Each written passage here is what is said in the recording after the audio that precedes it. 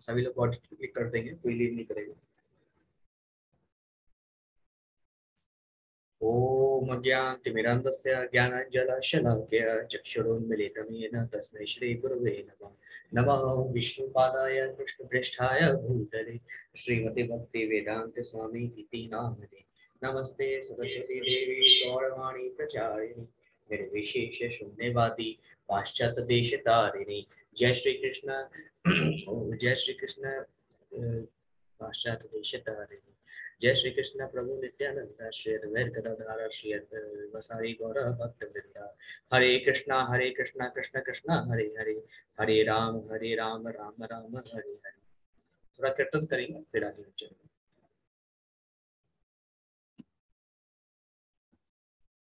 अधीरं मधुरं वदेनं मधुरं नयनं मधुरं हसितं मधुरम्, हृदयं मधुरं गगनं मधुरं मधुरारिपते,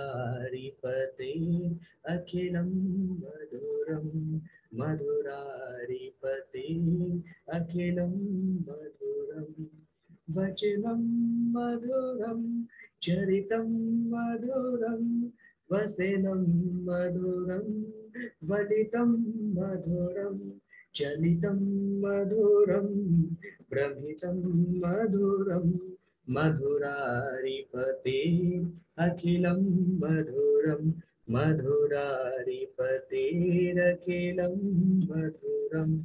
वेणुर्मधुरो रेणुर्मधुरा पाणिर्मधुरा पादौ मधुरा वेद्यं मधुरं, सख्यं मधुरं, नृत्यं मधुरं, सख्यं मधुरं, मधुरारिपतेरखिलं मधुरं मधुरारिपतेरखिलं मधुरं। गीतं मधुरं, पीतं मधुरं भुक्तं मधुरं श्रोतं मधुरं, रूपं मधुरं, तिलिकं मधुरं, मधुरारिपतेर्, अखिलं मधुरं, मधुरारिपतेर्, अखिलं मधुरं, करिणं मधुरं तरिणं मधुरं हरिणं मधुरं रमिणं मधुरं वमितं मधुरं समितं मधुरं मधुरारिपतेर् अखिलं मधुरं मधुरारिपतेर् अखिलं मधुरं गुञ्जा मधुरा, माला मधुरा यमुना मधुरा वीची मधुरा, सलिलं मधुरं, कमिलं मधुरं, सलिलं मधुरं, कमिलं मधुरं मधुरारिपतेर् अखिलं मधुरं मधुरारिपतेर् अखिलं मधुरं। गोपी मधुरा, लीला मधुरा, युक्तं मधुरं, भुक्तं मधुरं, हृष्टं मधुरं, शिष्टं मधुरं, हृष्टं मधुरं, शिष्टं मधुरं मधुरारिपतेर् अखिलं मधुरं मधुरारिपतेर् अखिलं मधुरं गोपा मधुरा, गावो मधुरा यस्तिर्मधुरा सृष्टिर्मधुरा दलितं मधुरं, फलितं मधुरं, दलितं मधुरं, फलितं मधुरं मधुरारिपतेरखिलं मधुरं मधुरारिपतेरखिलं मधुरम् अधीरं मधुरं वदेनं मधुरम् अधीरं मधुरं वदेनं मधुरं, नयनं मधुरं, हसितं मधुरं, हृदयं मधुरं कमिरं मधुरं, मधुरारिपते, अखिलं मधुरं, मधुरारिपते, अखिलं मधुरं मधुरारिपते अखिलं मधुरम। हरे कृष्ण सभी को। तो आज हम चैप्टर सिक्स करेंगे। आज थोड़ा सा हम लोग डिटेल में चैप्टर सिक्स देखेंगे। इसलिए हम चैप्टर नंबर सिक्स जो है वो हम दो दिन हम देखेंगे। एक आज देखेंगे और एक कल देखेंगे। डिटेल वे में हम इसकी थोड़ा स्टडी करेंगे। क्योंकि मैं चाहता हूँ कि जो चैप्टर सिक्स बहुत ज़्यादा इंपॉर्टेंट चैप्टर तो आज भी हम total number of forty seven shlokas हैं इस चैप्टर नंबर सिक्स में। तो आधे श्लोक्स आज हम देखेंगे टोटल ट्वेंटी थ्री श्लोक्स एंड हाफ़ आधे जो श्लोक्स है वो कल हम देखेंगे, ठीक है? तो सभी लोग साथ में अच्छे से डिटेल में पढ़ेंगे। एक एक चीज़ पर्टिकुलर तरीके से मैं यहाँ पे बताऊँगा। और आप सभी लोग ध्यान लगा के इस चीज़ को सुने। बहुत इंपॉर्टेंट चैप्टर है। बहुत महत्वपूर्ण चैप्टर है। इसको समझने से आपको और भगवत गीता के बारे में समझ में आएगा। ये समझ में आएगा कि भगवान और क्या कहना चाह रहे हैं, अर्जुन को और क्या बताना चाह रहे हैं। किस प्रकार से अर्जुन के जितने भी डाउट्स थे, जितने भी क्वेश्चंस थे from the starting of the chapter one से लेकर चैप्टर फाइव तक तो उसको भगवान कैसे कैसे धीरे धीरे हल कर रहे हैं। जहाँ तक कल हमने देखा था कि कल भगवान यहाँ पे बता रहे थे किस प्रकार से हम समस्त जीवों में परमेश्वर, परमात्मा यानी भगवान कृष्ण के दर्शन कर सकते हैं? आगे हम इसी क्रम में बढ़ते हैं और चैप्टर नंबर सिक्स स्टार्ट करते हैं, ठीक है? तो चैप्टर नंबर सिक्स का पार्ट वन रहेगा। पार्ट वन में आपका ट्वेंटी थर्ड ट्वेंटी थ्री श्लोक हम यहाँ पे डिस्कस करेंगे और यहाँ पे बहुत अच्छी तरीके से चीज़ को डिस्कस किया जाएगा, जिससे आप लोगों को एक एक चीज़ समझ में आए, ठीक है? सभी लोग को स्क्रीन विजिबल है?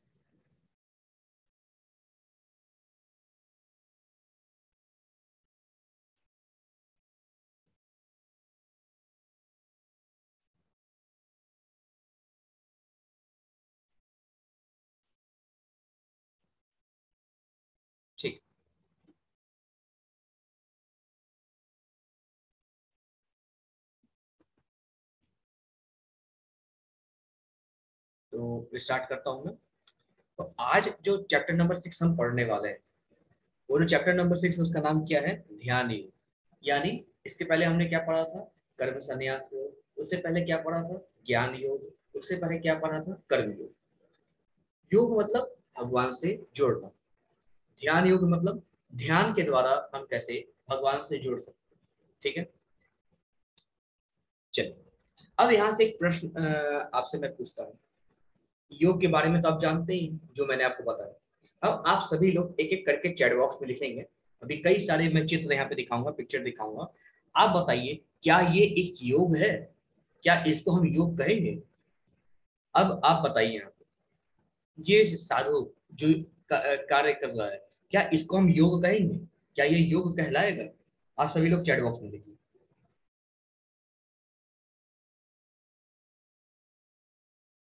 क्या इस जो भी स्थिति में है साधु, क्या इसको योग कहेंगे?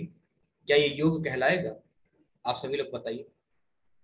साथ में मेरे साथ आप रहिएगा, बहुत सारी चीज़ आप समझ में समझ में आएगा, ठीक है? तो जो भी मैं बोल रहा हूँ, आप लोग चैट बॉक्स में लिखते जाइए, आप सभी लोग बहुत एंजॉय करेंगे और बहुत अच्छी तरीके से समझ में आएगा, ठीक है? तो सभी लोग पार्टिसिपेट करेंगे। ये योग नहीं है, ठीक है? अच्छा ये योग है क्या? ये व्यक्ति जो कर रहा है, इसको योग कहेंगे क्या? बताइए।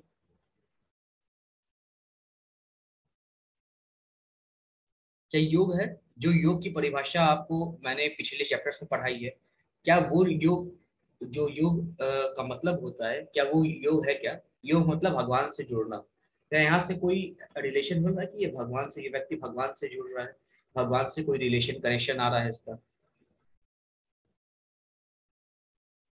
बिल्कुल। ये भी योग नहीं है।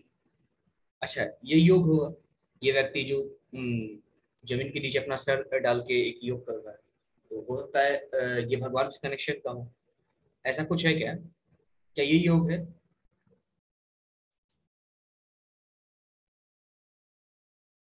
बिल्कुल, ये भी योग नहीं है। अच्छा ये योग है क्या? ये जो व्यक्ति कर रहा है, क्या इसको योग कहेंगे?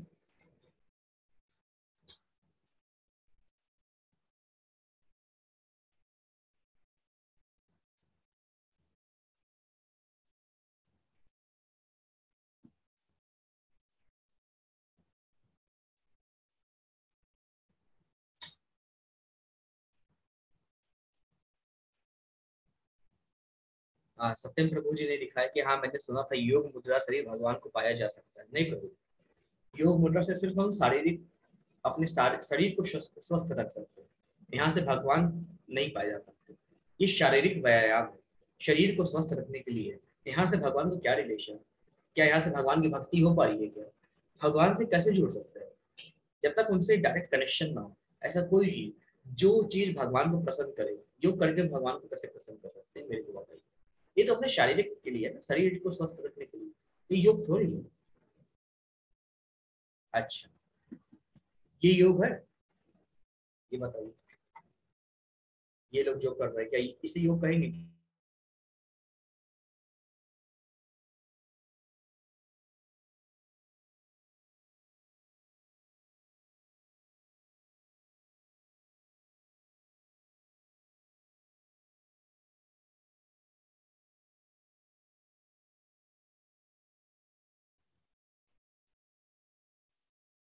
ठीक है? अच्छा ये एक योग होगा, जहाँ पे एक लड़की के ऊपर शिप चढ़ी हुई है। भगवान से कनेक्शन बैठा रही है क्या क्या ये योग कहलाएगा क्या? जी, बिल्कुल वेस्टर्न कल्चर है। लेकिन ये भी एक योग आप एक्सरसाइज का तरीका है। लेकिन क्या ये योग है क्या?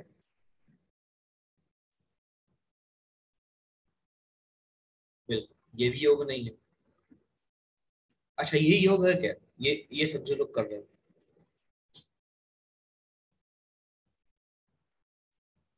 इसको योग कहेंगे क्या?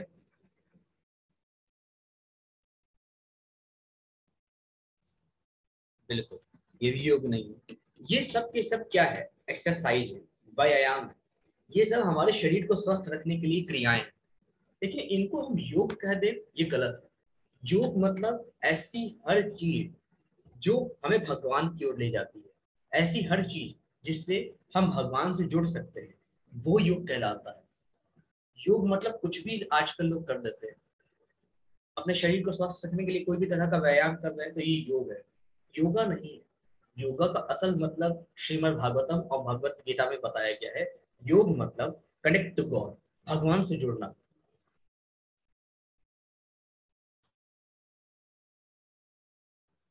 अगर हम ऐसे कोई भी काम करते हैं, ऐसा कोई भी कार्य करते हैं, जैसे हम भगवान से जुड़ पाते हैं, उसको योगा करते हैं, बाकी सारी चीज़ें, व्यायाम या एक्सरसाइज कहलाती है।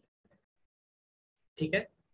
आप देख सकते हैं, कई तरह की किताबें आजकल निकलती हैं मेंटल हेल्थ के लिए फ़िज़िकल हेल्थ के लिए प्रेगनेंसी के लिए योगा, कई तरह की योगा बताए जाते हैं, है ना?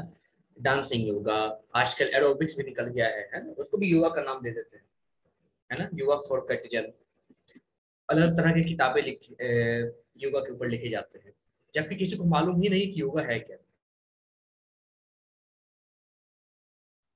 योगा से सब अनजान है कि जो एक्चुअल योगा होता है, वो होता क्या है। ठीक है? योगा मतलब क्या है? भगवान से जोड़ना। ये सारी चीज़ें योग में नहीं आती। ठीक है?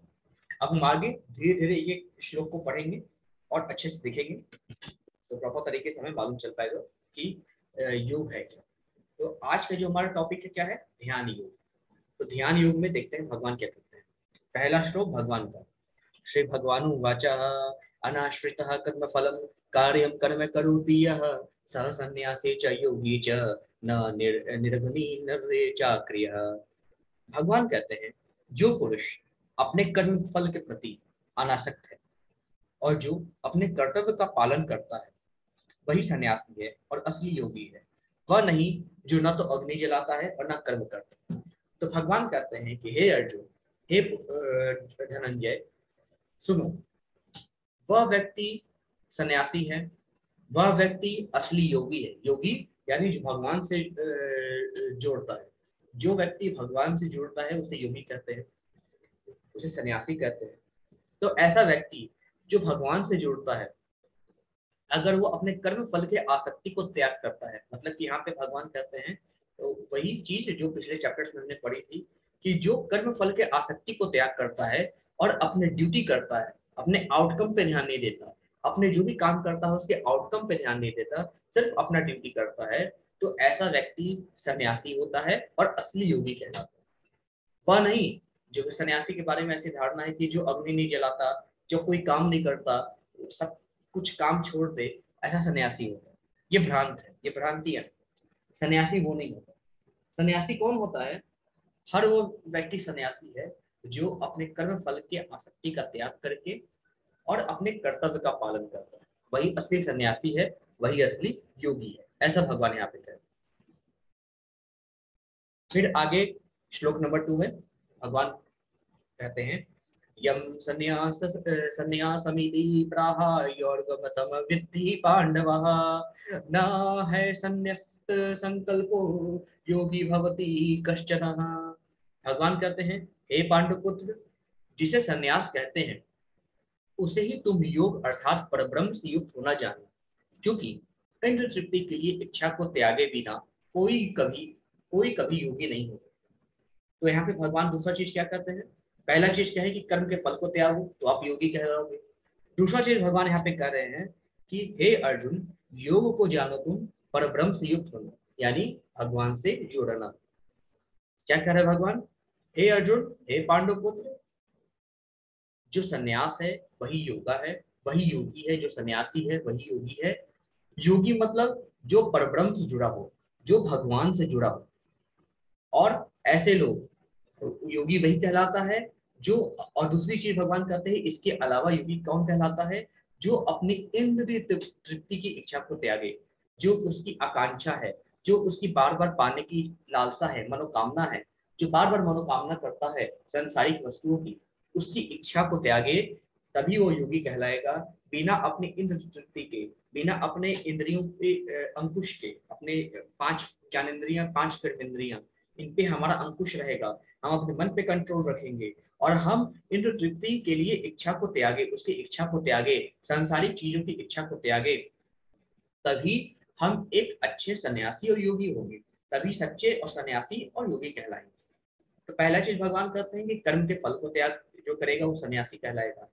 जो अपनी इंद्रिय तृप्ति को त्याग करेगा, वो सन्यासी कहलाएगा। ठीक है? फिर आगे भगवान कहते हैं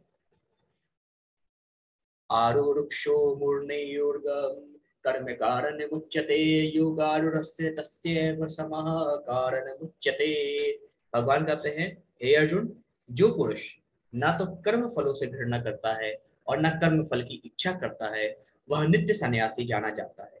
हे महाबाहु अर्जुन, ऐसा मनुष्य समस्त द्वंद्वों से रहित होकर भाव बंधन को पार कर पूर्णतया मुक्त हो जाता है। तो भगवान कहते हैं, हे अर्जुन, जो व्यक्ति कोई भी काम करता है उसको कोई भी फल मिलता है अच्छा फल या बुरा फल, उससे कभी घृणा नहीं करता है। और ना कभी कर्म फल की इच्छा करता है कि मैं ये काम कर रहा हूँ, मुझे ये फल मिलना चाहिए, मैं ये काम कर रहा हूँ, मुझे ये फल मिलना चाहिए। ऐसा व्यक्ति सन्यासी कहा जाता है। फिर प्रभु कहते हैं, हे अर्जुन, ऐसा मनुष्य समस्त द्वंद्वों से, यानी समस्त द्वंद्वों से, यानी समस्त मुसीबतों से रहित होकर भव बंधन को पार कर मुक्त हो जाता है। तो भगवान कहते हैं जो कर्म फल की ओर आसक्ति नहीं रखता, जो भी उसको फल मिले, भगवान की इच्छा समझ कर स्वीकार करता है, कर्म के फलों से घृणा नहीं करता, कर्म के फलों की इच्छा नहीं करता। तो ऐसे व्यक्ति सन्यासी कहा जाता है और ऐसा व्यक्ति अंत समय में बहुत सागर को करता है। तब ध्यान से देखिए, भगवान ने यहाँ पे तीन चीज़ें कही। तीन श्लोक में भगवान ने यहाँ पे तीन चीज़ें कही। क्या कही है? पहली चीज़, कर्म फल के, कर्म के फल के आसक्ति को त्यागे।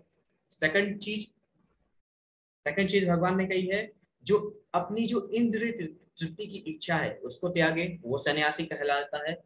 तीसरा, जो कर्म, जो भी कर्म फल उसको मिलता है व्यक्ति को, उससे घृणा नहीं करता और कभी किसी कर्म फल की इच्छा नहीं करता। ऐसा व्यक्ति सन्यासी कहलाता है और ये सभी सन्यासी अंत में भव सागर को पार करके भगवान श्रीमन नारायण के शरण में जाते हैं, उनकी शरण को ग्रहण करते हैं। ऐसा प्रभु यहाँ पे करते हैं।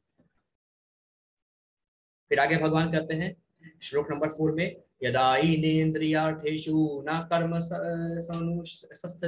सजते सर्वसंकल्प संन्यासी योगारुणस्तदोच्यते। भगवान कहते हैं, जब कोई पुरुष समस्त भौतिक इच्छाओं का त्याग करके न तो इंद्र तृप्ति के लिए कार्य करता है और न सकाम कर्मों में प्रगत होता है तो वह योगारूढ़ कहलाता है। तो कौन व्यक्ति योगारूढ़ कहलाता है? जब भी कोई पुरुष समस्त भौतिक इच्छाओं का त्याग करे उसे कोई भी संसार की चीज़ नहीं चाहिए। सभी के सभी भौतिक इच्छाओं को त्याग दे और उसे अपनी किसी भी इंद्रियों की तृप्ति नहीं चाहिए, ठीक है? अपने इंद्रियों को अपने वश में करे और कभी भी किसी भी सकाम कर्म में प्रयुक्त न हो। मतलब कि कभी भी किसी ऐसा कोई काम न करे जिसके पीछे उसकी फल की इच्छा नहीं हो। इसे सकाम कर्म करते हैं। निष्काम कर्म बिना फल की इच्छा के काम करना। सकाम कर्म फल की इच्छा के साथ काम करना। तो भगवान कहते हैं, जब भी कोई व्यक्ति बिना किसी फल की इच्छा से काम करता है, अपने इंद्रियों की तृप्ति को त्याग देता है और कभी भी किसी भी सकाम कर्म में बिज़ी नहीं होता, ऐसा व्यक्ति योगारूढ़ कहा जाता है। तो ऐसा भगवान यहाँ पे कह ठीक है? तो उसके बाद भगवान यहाँ पे कहते हैं उद्धरेदात् मनात्मानं, नात्मान मम साध्यते, येत आत्मैव हयात्मनो बंधु रातमैव रिपुरात्मनः भगवान और श्लोक नंबर फाइव में क्या करते हैं? मनुष्य को चाहिए कि अपने मन की सहायता से अपना उद्धार करे और अपने को नीचे न गिरने दे। यह मन बद्ध जीव का मित्र भी है और शत्रु भी है। तो यहाँ पे भगवान कहते हैं कि प्रत्येक मनुष्य को चाहिए कि अपने मन की सहायता से अपना उद्धार करें। क्योंकि मन ही हमारे इंद्रियों को कंट्रोल में लाता है। आप देखिए कभी भी आप, आप आपका जो मन है हमेशा इधर उधर भागता रहता है। तो भगवान कहते हैं कि हमारा जो मन है ना यही हमारे इंद्रियों को कंट्रोल में लाता है। यही हमको एक अच्छा व्यक्ति बनाता है। यही हमें प्रेरित करता है कि हम कर्म के फल को त्यागे उसकी आसक्ति को त्यागे। हम जब तक अपने मन पे कंट्रोल नहीं करेंगे तब तक अपने इंद्रियों को अपने काबू में लाना असंभव है। अपने मन को कंट्रोल करने के लिए आत्म साक्षात्कार आत्म परायण होना बहुत ज़रूरी है। उसके लिए भगवत भक्ति बहुत ज़रूरी है। तो अपने मन को कंट्रोल करने के लिए बहुत ज़रूरी है हम आत्म परायण बने, ठीक है? और अपने आप को जाने कि हम कौन है। बड़ी भगवत भक्ति से जाना जा सकता है। और जिसके कंट्रोल में मन है, उसे कंट्रोल में इंद्री है। जितने भी इंद्रियाँ हैं, उनकी कंट्रोल में है। और बाकी जब सारी इंद्रियाँ कंट्रोल में है तो कोई दिक्कत नहीं है वो एक सन्यासी के रूप में है। अगर वो अपने इंद्रियों को कंट्रोल कर लेता है कभी कर्म फल की इच्छा नहीं करता भौतिक चीज़ों की परवाह नहीं करता तो निश्चित रूप से वह निष्काम कर्म करता हुआ व्यक्ति सन्यासी कहलाता है। तो यहाँ पे प्रभु कहते हैं कि अप, हर व्यक्ति अपने मन से अपना उद्धार कर सकता है और वही व्यक्ति अपने आप को नीचे नहीं गिरने देता। हम अपने मन को कंट्रोल करेंगे तो हम अपने आप को नीचे नहीं गिरने देंगे। हम अपना उद्धार स्वयं करेंगे। यह मन हमारा दोस्त भी है, हमारा दुश्मन भी है। अगर हम इसे कंट्रोल में रखते हैं, ये हमारा दोस्त बनेगा और हमें सीधा भगवान की चरण की ओर ले जाएगा।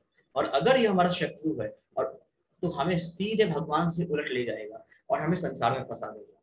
इसलिए कहा जाता है, ये मन हमारा सबसे अच्छा मित्र भी है और सबसे बुरा शत्रु भी है। ऐसा भगवान कहते हैं। तो मन दो प्रकार का होता है, दोस्त भी होता है, दुश्मन भी होता है।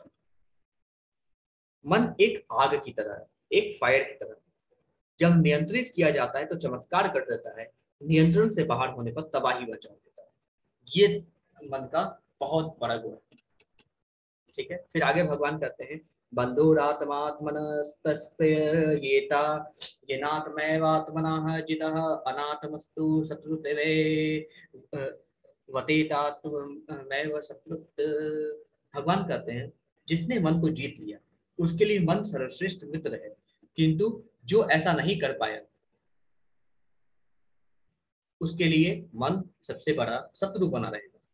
तो जैसे मैंने कहा, जिसके वश में मन है, वो सबसे जितेंद्रिय है सब कुछ जीता है, और उसके, उसका सबसे प्रिय मित्र कौन है? उसका मन है। लेकिन जो ऐसा नहीं कर पाता है, उसका सबसे बुरा शत्रु कौन होता है? उसका मन स्वयं होता है। आगे भगवान कहते हैं जीतात्मनः प्रशान्तस्य परमात्मा समाहिता शीतोष्ण सुखदुः दुखेशु तथा मानापमानयो। भगवान यहाँ पे कहते हैं, जिसने मन को जीत लिया है, उसने पहले ही परमात्मा को प्राप्त कर लिया है, क्योंकि उसने शांति प्राप्त कर ली है। ऐसे पुरुष के लिए सुख, दुख, सर्दी, गर्मी एवं मान अपमान एक से। तो यहाँ पे भगवान कहते हैं कि हे अर्जुन, जिसने अपने मन को वश में कर लिया है, अपने मन को जीत लिया है, मन को जी, जो मन को जीत लिया है, वो स्वयं परमात्मा को प्राप्त कर लेता है, क्योंकि मन उसे कंट्रोल में है, और मन से भगवान की भक्ति करके भगवान की शरण में जा सकता है। और जिसके कंट्रोल में मन है, उसकी फिर इच्छा नहीं होती और कुछ, और उस शांति प्राप्त करता है। ऐसे पुरुष सुख दुख को एक समान समझते हैं, सर्दी गर्मी को एक समान समझते हैं, मान अपमान को एक समान समान समझते हैं। देखिए जो भी हमें सुख मिलता है, जो भी दुख मिलता है, वो हमारे मन की शरारत है। मन हर परिस्थिति के हिसाब से अपना हाव भाव बदल लेता है। सुख में मन खूब कुशलता को देता है कि हम कितने सुखी हैं। दुख में मन दुखी होता है है ना? और आँसू बनाता है।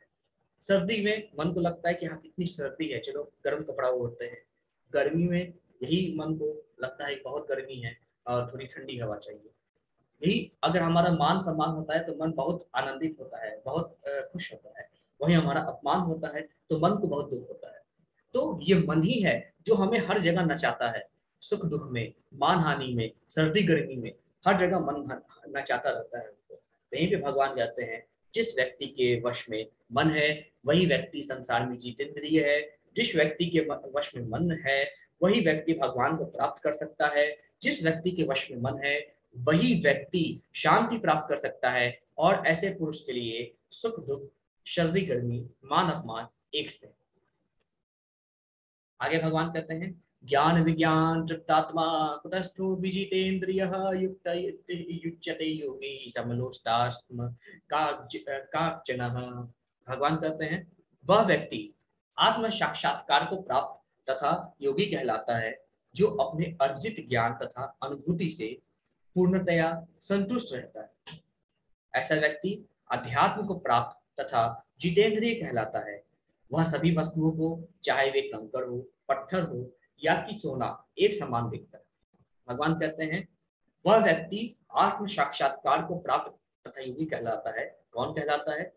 जो अपने अर्जित ज्ञान, जो भी उसने ज्ञान प्राप्त किया है और जो भी उसकी अनुभूति या एक्सपीरियंस है, जो भी उसके पास नॉलेज है, जो भी एक्सपीरियंस है उसे संतुष्ट करता है। ऐसा व्यक्ति अध्यात्म को प्राप्त तथा जितेंद्रीय कहलाता है, वो सभी वस्तुओं को, चाहे वो कंकर हो, पत्थर हो या कि सोना, एक समान हो। तो भगवान कहते हैं कि वही व्यक्ति आत्म साक्षात्कार को प्राप्त कह सकता है, कर सकता है, वही व्यक्ति योगी कहला सकता है, जो जिसे अपने ज्ञान पे अहंकार ना हो। उसके पास जितना ज्ञान हो, उसे में संतुष्ट हो। न ही अधिक पाने की इच्छा हो, न ही उसे अपने ज्ञान को जताने की इच्छा हो कि हम कितने बड़े ज्ञान हैं। आजकल के 90 से 95 परसेंट जब ये लोग भगवान की भक्ति करते हैं, है ना तो उन्हें पता नहीं क्यों अहंकार का भाव आ जाता है, मैंने देखा है ना। अहंकार का भाव आ जाता है कि हम भगवान के बहुत बड़े भक्त हैं, हम शिव जी के बहुत बड़े भक्त हैं, हम कृष्ण के बहुत बड़े भक्त हैं, श्री राम के बहुत बड़े भक्त हैं। ये अहंकार का भाव आ जाता है। जब भक्ति में अहंकार का भाव जो होता है, तब वो भक्ति डायरेक्शन अपना चेंज कर देती है। फिर इंसान का पतन होने लगता है। क्योंकि जब इंसान के अंदर अहंकार का भाव जुड़ता है, वो अपने आप को किसी के आगे लगाता नहीं। जब इंसान के अंदर अहंकार का भाव जोड़ता है, वह सोचता है कि वह जो कर रहा है, वही सबसे उत्तम है। वह भगवान की जैसे पूजा कर रहा है, भगवान की जैसे भक्ति कर रहा है और जो भी काम कर रहा है, वही सबसे उत्तम है और दूसरा कर रहा है। जो भी दूसरे व्यक्ति प्रेम भाव से भगवान की पूजा कर रहा है, वो गलत अपने आप को भक्ति में भी एक तरह का कंपटीशन करने लगता है व्यक्ति कि हम सबसे ऊँचे भक्त हैं, हम सबसे उत्तम भक्त हैं। लेकिन ये गलत चीज़ है। भक्ति में कोई उत्तम, कोई उच्च, कोई नीच नहीं होता। भक्ति में सब एक जैसे होते हैं। हाँ जो भी भगवान का नाम ले, दिल से नाम ले, भगवान की पूजा करे, दिल से करे, एक क्षण के लिए भी भगवान की भक्ति के लिए अहंकार नहीं आना चाहिए। जहाँ पे अहंकार होता है वहाँ भक्ति कभी रह नहीं पाती। वो सिर्फ़ और सिर्फ़ एक तरह का आपका कंपटीशन हो जाता है। एक तरह का सिर्फ़ एक दूसरे से प्रतिस्पर्धा हो जाती है कि हम भगवान को ये कर रहे हैं, हम भगवान को ये कर रहे हैं। फिर उसके बाद, सब यहाँ पे उसके बाद आगे फिर दिखाने लगते हैं कि हम भगवान को इतना किलो भोग चढ़ाते हैं, इतना किलो भोग चढ़ाते हैं। तो यहाँ पे भक्ति पीछे रह जाती है, यहाँ पे प्रतिस्पर्धा आगे आगे आ जाती है और यहाँ पे इंसान का अहंकार आ जाता है। फिर उसके बाद वो भगवान की भक्ति तो नहीं करता, लेकिन हाँ अपने आप को जताने की कोशिश करता है कि भगवान का कितना बड़ा भक्त ये बहुत बड़ी दिक्कत है। इस चीज़ को हमें समझने की ज़रूरत है। हम भक्ति में तो आते हैं, लेकिन हमको भक्ति का अहंकार बिल्कुल भी नहीं होना चाहिए। छोटा सा अहंकार हमारी भक्ति को पूर्ण रूप से खत्म कर सकता है। इसलिए हमें आत्म साक्षात्कार और योगी कहला कहलाना है, एक योगी की तरह रहना है तो सर्वप्रथम अपने भक्ति के अहंकार को खत्म करना चाहिए। और जितना हमारे पास ज्ञान है है ना, जितना हमारे पास अनुभव है, उस चीज़ में संतुष्ट रहना चाहिए। किसी को ऊँचा, किसी को नीचा नहीं समझना चाहिए। हमारे लिए सभी कुछ एक समान होना चाहिए। चाहे कंकड़ हो, पत्थर हो, सोना हो, सभी चीज़ एक समान होना चाहिए। ऐसा भगवान यहाँ पे कहते हैं। फिर आगे प्रभु कहते हैं सुहैन मित्रायुर्दासीन मदस्थ दविष्य साधु स्वपी च पापेषु संबुद्धि विशिष्यते भगवान कहते हैं यहाँ पे, जब मनुष्य निष्कपट हितैषियों, प्रिय मित्रों, तटस्थों, मध्यस्थों ईर्ष्यालियों शत्रुओं तथा मित्रों पुण्य आत्माओं एवं पापियों को समान भाव से देखता है तो वह और भी उन्नत माना जाता है। अब भगवान कहते हैं, वह व्यक्ति और भी उन्नत है जो अपने हितेशियों को, अपने दोस्तों को, अपने साथ तटस्थों को, जो उनके साथ हमेशा हर परिस्थिति में उनके साथ कंधे से कंधा मिलाकर रहते हैं, मध्यस्थों को, जो एक दूसरे के बीच में सुलह करवाते हैं, जो उनसे ईर्षा करते हैं। अगर कोई व्यक्ति है जो हमसे घृणा करता है ईर्षा करता है हेट करता है हमसे, अपने दुश्मनों को, है ना, अपने मित्रों को अपने पुण्य आत्माओं एवं पापी आत्माओं को, सभी को, चाहे हमारा दोस्त हो, चाहे हमारा मित्र हो, कोई भी हो, सभी को समान समझने वाला व्यक्ति ही सर्वोत्तम माना जाता है, उत्तम माना जाता है। ऐसा भगवान कृष्ण श्लोक नंबर नाइन में कहते हैं। आगे प्रभु कहते हैं, योगी युजित सत्तमात्मान रहसी स्थित एकाकी यत निराशीर परिग्रह। भगवान कहते हैं, योगी को चाहिए कि वह सदैव अपने शरीर, मन तथा आत्मा को परमेश्वर में लगाए, एकांत स्थान में रहे और बड़ी सावधानी के साथ अपने मन को वश में करे। उसे समस्त आकांक्षाओं तथा संग्रह भाव से मुक्त होना चाहिए। तो भगवान यहाँ पे कहते हैं, श्लोक नंबर टेन में योगी को चाहिए, वह सदैव अपने शरीर को, अपने मन को और आत्मा को, शरीर, मन और आत्मा, इन तीनों को ईश्वर की शरण में लगाए, ईश्वर की भक्ति में लगाए, परमेश्वर में लगाए, एकांत स्थान में रहे और बड़ी सावधानी के साथ मन को वश में करें। मन को वश में करना बहुत कठिन कार्य है, बहुत दुष्कर कार्य है। भगवान यहाँ पे कहते हैं कि बड़ी सावधानी से मन को वश में करना चाहिए। उससे अपनी समस्त आकांक्षाओं तथा संग्रह भाव से मुक्त होना चाहिए। जितनी भी आकांक्षाएँ, मनोकामना हमारे हृदय में है, मन में है, उन सबसे मुक्त हो और बड़ी सावधानी के साथ मन को वश में करें, एकांत स्थान में रहें और मन, आत्मा और शरीर से उन तीनों को परमेश्वर की सेवा में लगाए फिर आगे भगवान कहते हैं। श्लोक नंबर इलेवन, श्लोक नंबर ट्वेल्व में, शुचो स्थिर मास, मासन मात्मनः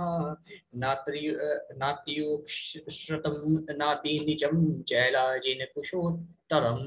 श्लोक नंबर ट्वेल्व में कहते हैं प्रभु, तत्र एकाग्रम मनः कृत्वा यत चित्तेन्द्रिय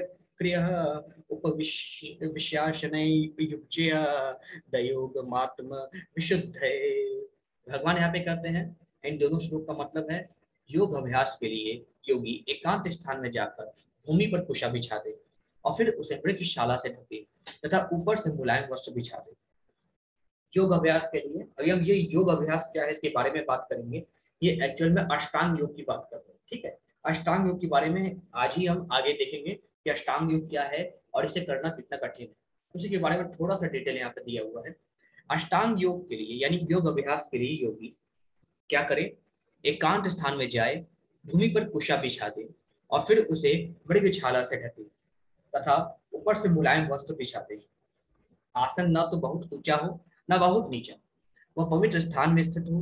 योगी को चाहिए कि इस पर दृढ़ता पूर्वक बैठ जाए और मन इंद्रियों तथा कर्मों को वश में करते हुए तथा मन को एक बिंदु पर स्थित करके हृदय को शुद्ध करने के लिए योगाभ्यास करे।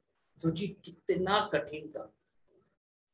यहाँ पे भगवान बताने की कोशिश कर रहे हैं, दो मार्ग, एक भक्ति योग और एक ध्यान योग। यानी ध्यान के माध्यम से आप मेरे तक कैसे पहुँच सकते हैं? भगवान का ध्यान करना इतना आसान नहीं है। भगवान को ध्यान करने के लिए, क्योंकि हम, आप देखे होंगे, कभी हम आँख बंद करते हैं तो सैकड़ों ख्याल हमारे दिमाग में आते हैं। क्या हम आँख बंद करके भगवान का ध्यान कर सकते हैं?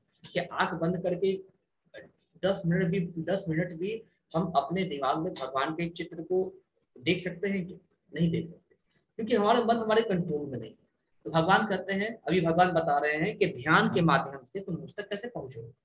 ध्यान के माध्यम से ऐसे पहुंचोगे कि सबसे पहले तुम अपने मन को कंट्रोल में करो, अपने इंद्रियों को कंट्रोल में करो, है ना? और अपने इंद्रिय तृप्ति को कंट्रोल में करो, अपनी सारी इच्छाओं को छोड़ दो, तभी तुम अपने मन को वश में करो अब भगवान बताते हैं कि वह मार्ग क्या है, कैसे मन वश में होगा।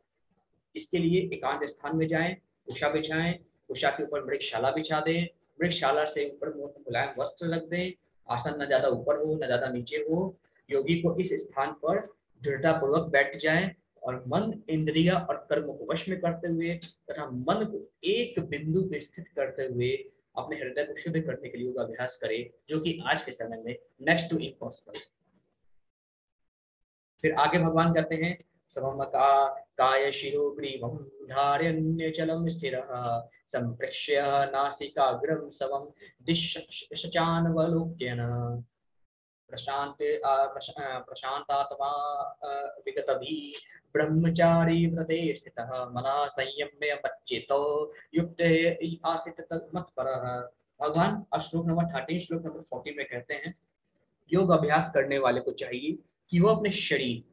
गर्दन तथा सर को सीधा रखे और नाक के अगले सिरे पर दृष्टि लगाए। यानी अगर आप राइट आँख से देख रहे हैं तो नाक का जो लेफ़्ट पार्ट है, उस पर आप अगर राइट आँख से देख रहे हैं तो नाक का जो राइट पार्ट है, उस पर दृष्टि लगाइए।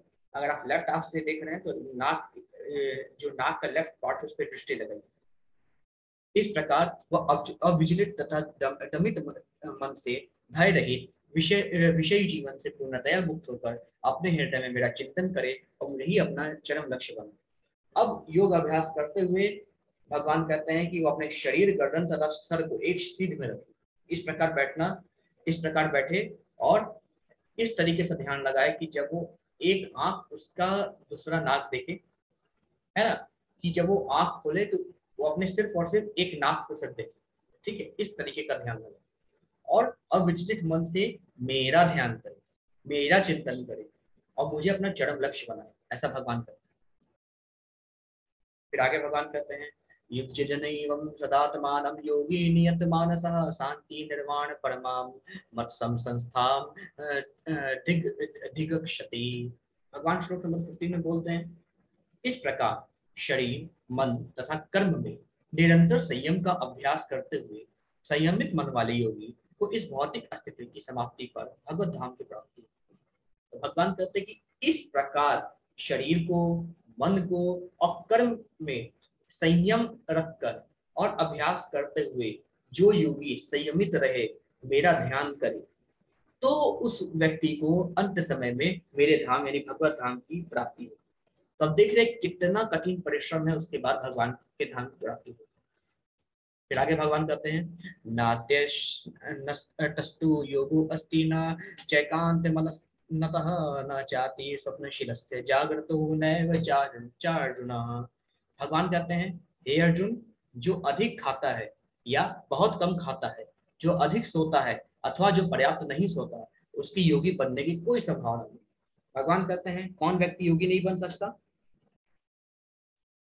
जो व्यक्ति ज़्यादा खाता है या जो व्यक्ति बहुत कम खाता है? जो व्यक्ति ज़्यादा सोता है, जो व्यक्ति बहुत कम सोता है, ऐसा व्यक्ति कभी योगी नहीं बन सकता, क्योंकि तो उसका मन उसके वश में नहीं है।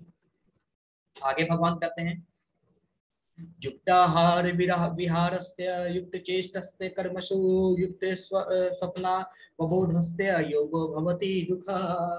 भगवान कहते हैं, जो खाने, सोने, आमोद प्रमोद तथा काम करने की आदतों में नियमित रहता है वह अयोग अभ्यास द्वारा समस्त भौतिक क्लेशों को नष्ट कर सकता है। ऐसा भगवान यहाँ पे कहते हैं। तो भगवान कहते हैं, वो व्यक्ति जो खाने, सोने में, आमोद प्रमोद में तथा काम करने में, आदतों में डिसिप्लिन रहता है। डिसिप्लिन वे में काम करता है। वही योगाभ्यास द्वारा जितने भी भौतिक क्लेश हैं, जितने भी भौतिक कष्ट हैं, उनको नष्ट कर सकता है। ऐसा प्रभु यहाँ पे कहते हैं। फिर आगे भगवान कहते हैं, श्लोक नंबर अठारह में। यदा विनियतं चित्तमात्मने भावतिष्ठते निह स्त्रिय सर्वकामेभ्यो युक्त चित्त युच्यते तदा।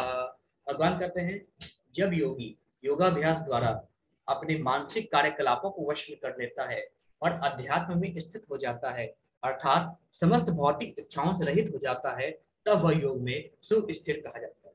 तो भगवान कहते हैं, कौन व्यक्ति योग में सुस्थिर कहा जाता है, जो अपने मानसिक कार्यकलापों को वश में कर लेता है, जो अध्यात्म में स्थित होता है, अर्थात समस्त भौतिक इच्छाओं को अपने वश में कर लेता है, उसमें लिप्त नहीं होता, वह व्यक्ति सुस्थिर कहा जाता है।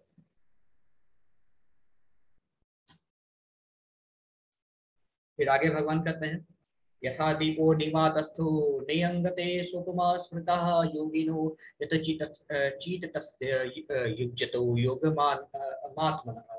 अब भगवान यहाँ पे कहते हैं? श्लोक नंबर 19 में, जिस प्रकार वायु रहित स्थान में दीपक हिलता धुलता नहीं है, उसी तरह जिस योगी का मन वश में होता है, वो आत्म तत्व के ध्यान में सदैव स्थिर रहता है। अब भगवान कहते हैं, जहाँ पे वायु नहीं होती, वहाँ पे दीपक जलता रहता है, बिना हिले डुले।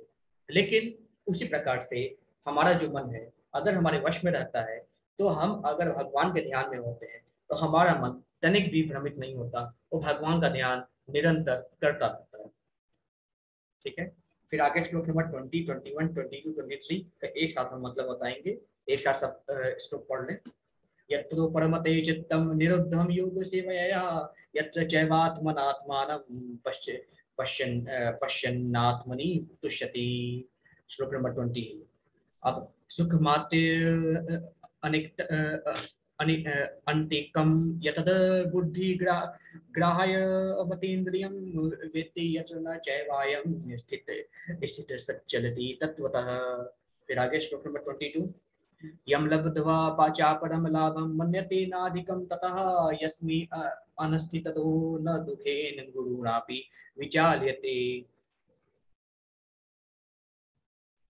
And stroke number 23 तम विद्या दद्दुः खसम योग वियोगम योग संदितम स निश्चयेन युक्त युक्तवयो योगो योगो अनिवर्णन चेतसः तो इन श्लोक नंबर 26 श्लोक नंबर 23 का मतलब है सिद्धि की अवस्था में जिसे समाधि कहते हैं मनुष्य का मन योगाभ्यास के द्वारा भौतिक मानसिक क्रियाओं से पूर्णतया संयमित हो जाता है इस सिद्धि की विशेषता यह है कि मनुष्य शुद्ध मन से अपने को देख सकता है और अपने आप में आनंद उठा सकता है। उस आनंदमय स्थिति में वह दिव्य इंद्रियों द्वारा असीम दिव्य सुख में स्थित रहता है। इस प्रकार स्थापित मनुष्य कभी सत्य से विपथ नहीं होता और इस सुख की प्राप्ति हो जाने पर वह इससे बड़ा कोई दूसरा लाभ नहीं मानता। ऐसी स्थिति को पाकर मनुष्य बड़ी से बड़ी कठिनाई में भी विचलित नहीं होता। यह निसंदेह, भौतिक, यह निसंदेह भौतिक संसर्ग से उत्पन्न होने वाले समस्त दुखों से वास्तविक मुक्ति। तो यहाँ पे भगवान कहते हैं कि सिद्धि की अवस्था में जब व्यक्ति ध्यान के माध्यम से प्रभु का ध्यान करता है और एक सिद्ध अवस्था में पहुँच जाता है, जिसको हम समाधि कहते हैं, जब व्यक्ति समाधि धारण कर लेता है तो जो मनुष्य का मन है, योगाभ्यास के द्वारा भौतिक मानसिक क्रियाओं से पूर्णतया संयमित हो जाता है। मतलब जो भी भौतिक हमारी क्रियाएँ हैं श्वास लेना या तो समय समय पर हमें भूख लगती है, प्यास लगती है। ये जो मानसिक हमारी क्रियाएँ हैं, है ना? और जो भी हमारा मन इधर उधर भटकता है, सब कुछ संयमित हो जाता है। इस सिद्धि से क्या होता है कि मनुष्य शुद्ध मन से अपने को देख सकता है और अपने आप में आनंद उठा सकता है। उस आनंदमय स्थिति में वह दिव्य इंद्रियों द्वारा असीम दिव्य सुख से इसमें स्थित रहता है। इस प्रकार स्थापित मनुष्य कभी भी सत्य से विमुक्त नहीं होता, हमेशा सत्य बोलता है और इस सुख की प्राप्ति हो जाने पर वह इससे बड़ा कोई और लाभ मानता नहीं। ऐसी स्थिति को प्राप्त कर कर कोई भी मनुष्य सबसे बड़ी कठिनाई को इससे भी विचलित नहीं होता। चाहे कितनी भी बड़ी दुख क्यों ना जाए, कितना भी बड़ा कठिनाई क्यों ना जाए, ऐसा व्यक्ति कभी भी विचलित नहीं होता। वह निसंदेह, भौतिक संसर्ग से उत्पन्न होने वाले समस्त दुखों से वास्तविक मुक्त रहता है। वास्तविक मुक्त रहता है। ठीक है? ये जो भी आपको बताया गया है, ये अष्टांग योग के माध्यम से बताया गया है तो इसके बारे में थोड़ा सा हम देखते हैं। ये अष्टांग योग क्या है? ठीक है? अष्टांग योग में टोटल आठ डिसिप्लिन हमको फॉलो करने होते हैं। समाधि तक कैसे पहुँचता है कोई व्यक्ति? पहला यम, नियम, आसन, प्राणायाम, प्रत्याहार धारणा, ध्यान और समाधि। ये आठ चीज़ प्रत्येक इंसान को फॉलो करनी होती है, तभी कोई व्यक्ति समाधि तक पहुँच पाता है, जो कि बहुत कठिन कार्य है। ठीक है? अब आप बताइए चैट बॉक्स में, क्या आपको लगता है कि आप सभी लोग इस योग प्रणाली से भगवान तक पहुँच सकते हैं, भगवान को देख सकते हैं, भगवान जो भी आपका लक्ष्य है गोलक धाम जाना, वहाँ तक जा सकते हैं। क्या ये योग से जा सकते हैं क्या? क्योंकि मेरे हिसाब से तो बहुत कठिन योग है। आप बताइए। आपको क्या लगता है? क्या आप इस योग से भगवान को प्राप्त कर सकते हैं? भगवान में ध्यान लगा सकते हैं? आप लोग चैट बॉक्स में लिख सकते हैं।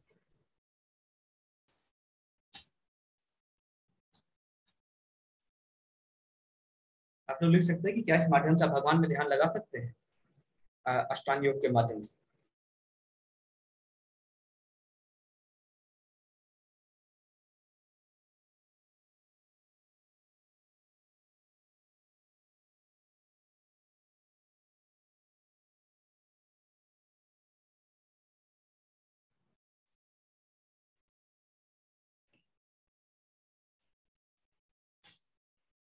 बिल्कुल सौरभ प्रभु जी। इस कली काल में तो असंभव है, क्योंकि जिस प्रकार से हमने देखा कि प्रॉपर तरीके से आसन बिछाना प्रॉपर तरीके से हमें बैठना, बैठने का प्रॉपर डिसिप्लिन होना चाहिए, मन को अपने वश में करना, किसी भी तरह की इच्छा न करना, बहुत मुश्किल है आज के समय में, इस तरह की चीज़ों को फॉलो कर पाना। ठीक है? तो अष्टांग योग पॉसिबल नहीं है। अब देखिए, जो आठ नियम है, उसमें क्या क्या करना पड़ता है, वो एक बार हम फिर से रिवाइज कर लेते हैं। यम, श्लोक नंबर टेन में बताया गया है कि एकांत जगह में अकेले रहना चाहिए और हमेशा अपने मन को नियंत्रित करना चाहिए। ध्यान लगाने वाला व्यक्ति कभी संसार में नहीं रहता। तो अकेला एक अंधेरे कमरे में भगवान का ध्यान लगाता है। आज के समय में लोग ध्यान लगाएँगे डिप्रेशन में चले जाएँगे। इसलिए आज के समय में ध्यान लगाना एकांत रूम में, एकांत अकेले तो आजकल कोई व्यक्ति आधा घंटा तो रह नहीं पाता। एकांत समय में, एकांत में कोई व्यक्ति रह नहीं पाता। आज के समय में पॉसिबल ही नहीं है यम को पालन करना। तो एकांत जगह रहना और अपने मन को नियंत्रित करना आज के समय में असंभव है। लेकिन यम मतलब आप एकांत जगह में जाइए और भगवान का ध्यान लगाइए, अपने मन को विश्व करिए। दूसरा, नियम। हमारे खाने का, हमारे सोने का, काम करने का, मनोरंजन करने का, उसमें डिसिप्लिन होना चाहिए। बहुत सारे लोगों के मन में ये डिसिप्लिन है। लेकिन बहुत मैक्सिमम लोगों के जीवन में डिसिप्लिन नहीं है। ठीक है? तो ये नियम ये होना चाहिए। तीसरा, आसन। जैसे कि मैंने आपको बताया कि उषा का घास भी घास बिछाए, वृक्षशाला, कोमल वस्त्र, इस तरीके से व्यवस्थित करें, ना ज़्यादा आसन ऊपर हो, ना ज़्यादा नीचे हो। हम आसन में बैठे हमारा जो पॉस्चर है जो हमारा नाक है, आँख है और हमारा शरीर है, पूरा एक पॉस्चर होना चाहिए। ठीक है? और हमारा ध्यान ऐसा होना चाहिए कि हमारा जो आँख है, नाक के सीधे में हो। इस प्रकार से ध्यान लगाएँ और हमारा मन विचलित ना हो। क्या ऐसा आज के समय में हो सकता है क्या? पॉसिबल ही नहीं। आसन, तीसरा क्या नियम है? आसन। चौथा नियम है प्राणायाम। आने और जाने वाली श्वास की गति में रोकने का अभ्यास करें। इस प्रकार अंतिम रूप में ट्रांस में रहें। मतलब कि अनुलोम विलोम कपालभाति इस तरह का चीज़ें हैं। ठीक है? तो जैसे हम हर सेकंड सांस लेते हैं तो हम सांस थोड़ा रुक रुक कर लें। ठीक है? जिससे हम अपने जो ध्यान है उसको अच्छे तरीके से कर पाएँगे। फिर आगे, प्रत्याहार। यानी हमें भौतिक इच्छाओं को पूर्ण रूप से त्याग देना है, जो कि आज के समय में असंभव है। धारणा। उसकी मानसिक गतिविधियों को अनुशासित करता है और परलौकिक स्थिति हो जाती है। सभी भौतिक इच्छाओं से रहित उस योग प्राप्त करने के लिए कहा जाता है। ठीक है वही भौतिक इच्छाओं से रहित होना। ध्यान। जैसे पवन रहित स्थान पर दीपक टिकता है, उसी तरह जैसे मैंने आपको बताया कि मन को एकदम कंट्रोल में रखना कि सिर्फ़ और सिर्फ़ भगवान नज़र आए और कोई नज़र न आए। आगे समाधि। और ये सबसे कठिन चीज़ है समाधि, जो कि इंसान का मन भगवान के चरणों में स्थित हो जाता है और चाहे कितना भी उस व्यक्ति को डिस्टर्ब करने की कोशिश करो, वो नहीं होता। ठीक है? सभी चीज़ से रहित हो जाना। ये आपका अष्टांग योग का नियम। और जो कि आज के समय में नेक्स्ट टू इम्पॉसिबल ठीक तो ये अभी हमने चैप्टर नंबर सिक्स का आधा किया है। आधा हम कल देखेंगे। ठीक है? तो आधा इसलिए हमने किया कि हम आज डिटेल में बताना चाहते थे कि ध्यान योग है क्या। ठीक है? किस तरीके से ध्यान योग के माध्यम से भगवान से कोई व्यक्ति जुड़ सकता है? है ना? लेकिन ये बहुत कठिन कार्य है। हर व्यक्ति, बहुत एकाध कोई बहुत महापुरुष है, वो ये कर सकता है, अन्यथा किसी के लिए नेक्स्ट इम्पॉसिबल वाली बात ठीक? तो ये चीज़ें जो है, हर किसी के लिए पॉसिबल नहीं है। अष्टांग योग के बारे में प्रॉपर तरीके से मैंने आपको बताया, ठीक है? और आगे और बात करेंगे कल, ठीक है? आज के लिए बस इतना ही। इस चैप्टर को चैप्टर नंबर सिक्स के आधे श्लोक नंबर ट्वेंटी थ्री तक हमने लिया है। आगे नेक्स्ट अगले श्लोक को हम कर लेंगे, ठीक है? सभी को हरे कृष्णा। अब किसी को कोई प्रश्न हो, कोई क्वेश्चन हो तो आप लोग हैंड रेस करके उस चीज़ को पूछ सकते हैं या अपने प्रश्न को चैट बॉक्स में लिख सकते हैं। तो एक करके अपने हैंड रेस कीजिए या चैट बॉक्स में अपने प्रश्न लिख सकते हैं। हरे कृष्ण।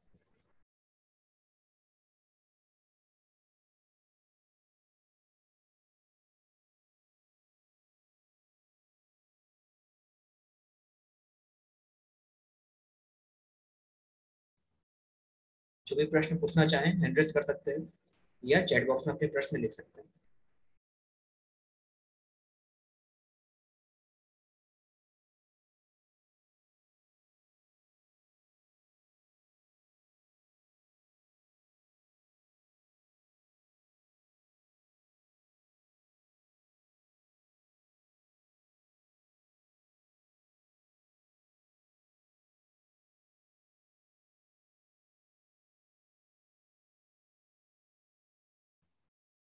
पावन प्रभु जी कल मैंने डाल दिया था शाम को छह बजे डाला है। आप एक बार रिचेक कीजिएगा ग्रुप में। कल मैंने ग्रुप पर डाला हुआ है रिकॉर्डिंग गुनिशा माता जी सकाम कर्म यानी वह कर्म वो कार्य जिसके पीछे आ, हमारे फल की इच्छा जुड़ी होती कोई भी काम करें लेकिन हमें चिंतित रहें हम हमेशा टेंशन में रहे कि इस जो भी काम कर रहे हैं जो भी कार्य कर रहे हैं या जो भी कर्म कर रहे हैं उसका फल क्या हो? और निष्काम कर्म, यानी कोई भी काम करें, उसके फल की चिंता न करें। जो भी कर्म फल हो, भगवान की इच्छा समझकर उसको स्वीकार करें। फल की चिंता बिना किए कोई काम करना, निष्काम कर्मयोग कहलाता है। फल की चिंता करते हुए कोई काम करना, सकाम कर्मयोग कहलाता है। जी माता हरे कृष्ण। कोई और क्वेश्चन है? प्रश्न आप लोग पूछ सकते हैं।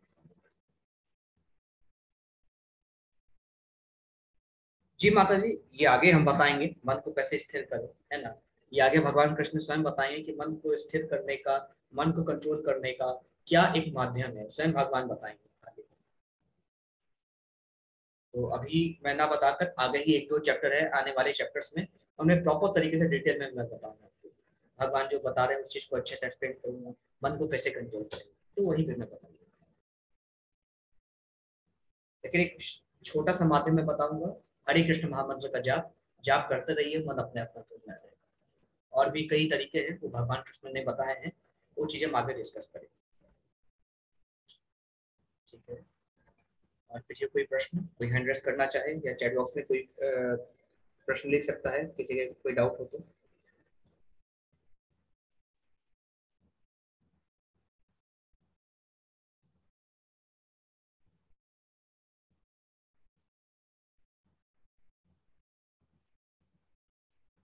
ठीक है फिर मैं ये क्लास यहीं पे एंड करता हूँ। ठीक है?